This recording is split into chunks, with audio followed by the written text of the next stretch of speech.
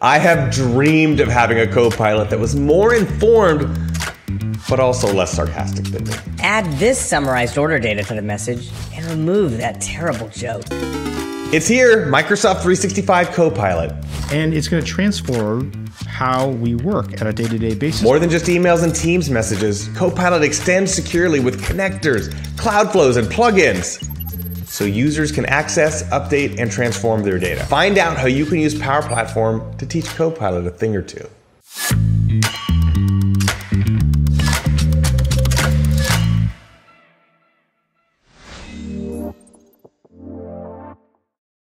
Welcome to PowerCat Live. My name is Phil Topness from the PowerCat team, and today I'm here with James. Hey, James.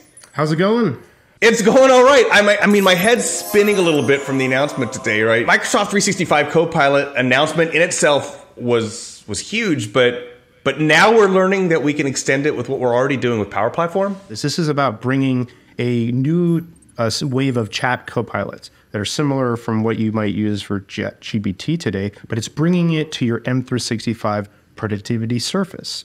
And it's going to transform how we work on a day to day basis because it's going to be able to reason over your company's data, your personal productivity data, including your documents, emails, calendar, charts, meetings. I could go on and on. It is ChatGPT for your work, your co-pilot, coworker, directly within Teams and the other M365 apps that you use every day. And now with this announcement, I mean, it, it, you described all of the data has access to, really like everything in you know that I that's involved with my work. But do I also have access to like those GPT capabilities? Like I could say, give me my sales data, but format a table and convert all the currencies. It's not only that that data is available, right? It's not about just ask the copilot a question, get a specific answer with that data. As you called out, there's large language models that are powering this. So you actually can have that rich summarization and context you get with ChatGPT.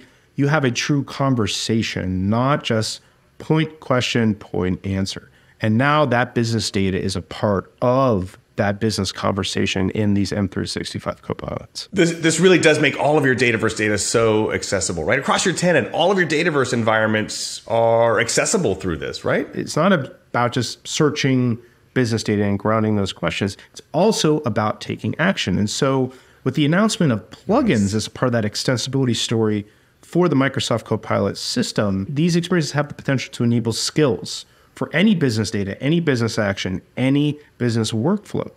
Part of that accessibility story, those, those plugins will include Power Platform connectors and flows and Dataverse plugins that will automatically function as supported as plugins within the M365 Copilot ecosystem. So if you're an information worker who, you know, as a part of your day-to-day, you're looking up data in your CRM system, you're opening tasks in Jira, you need to summarize summarize it all for your team, all of that is going to be able to be brought within this M365 Copilot services just by asking.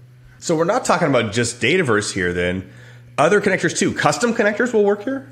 Yes, our, our goal is that any custom connector any instant workflow in Power Automate that's enabled, yeah. Any Dataverse plugin or any action can be Copilot enabled. And what do I need to do to enable my custom connector to work here? Uh, I think that's I think that's a really great question and one that is we're actively working on. But our goal, and honestly, where it stands right now, is you don't have to work very hard at all since we're taking the same approach effectively as ChatGPT today. And so, what we're focused on right now is how do we deliver great experiences to help with the automation and tuning of that other metadata that describes essentially what those APIs can do within the conversational interface. Um, and then building tools to help troubleshoot and, and really try to bring some of the other efforts that are happening across Microsoft to bear to the low code ecosystem here. All right, James, this, this sounds this sounds magical. Help us understand what's possible.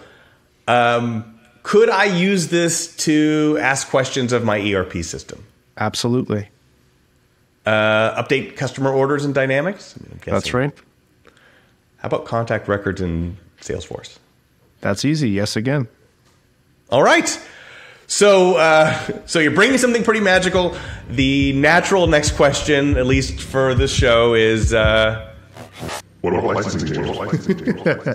you promised me you'd give me one of those mugs. Um, so, the, the, the short answer is that we're working to get it right right now, and I'm not ready to share the specific details.